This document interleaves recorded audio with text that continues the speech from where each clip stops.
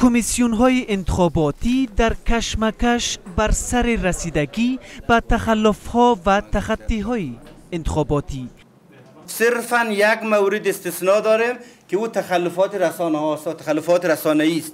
فقط تخلفات رسانه ای مرجع رسیدگی به آن کمیسیون کمیته رسانه های مربوط به کمیسیون مستقل انتخابات است. قانون یا یک بار بخوانن ببینن که مسئولیت کی است.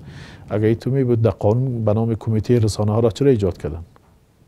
خیلی کمیته رسانه ها چی کار بکنه؟ سیل بکنه؟ که کاندیدا چی کار می‌کنه؟ کمیسیون رسیدگی به شکایت های انتخاباتی تأخیر در تهیه و اعلام فهرست رای دهندگان را از سوی کمیسیون مستقل انتخابات نیز به انتقاد می‌گیرد.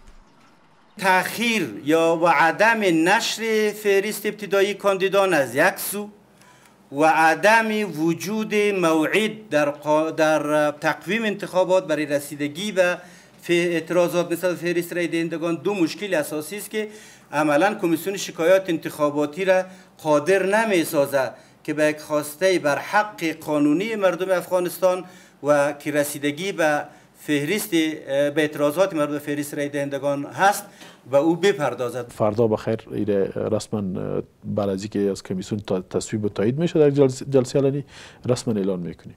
و تصمیم کمیسیون هم همی است که این مراکز ما و بر سی روز به خاطر از اینکه مردم افغانستان جایگاه و موقعیت و شماره خود پیدا بکنن و وقت یزیر پیدا بکنن که سر لیست اعتراض و شکایت بکنن این موقع برابر میشه در این میان کمیسیون رسیدگی به شکایت های انتخاباتی از نامزدان می خواهد که از لوایح و کارشیوه های انتخاباتی آگاهی داشته باشند و اگر یک نامزد در جریان پیکارهای انتخاباتی دست به تخلف و تخطی های انتخاباتی بزند از پنج تا پینجا هزار افغانی جریمه خواهد شد و حتی با محرومیت های روبرو خواهد گشت.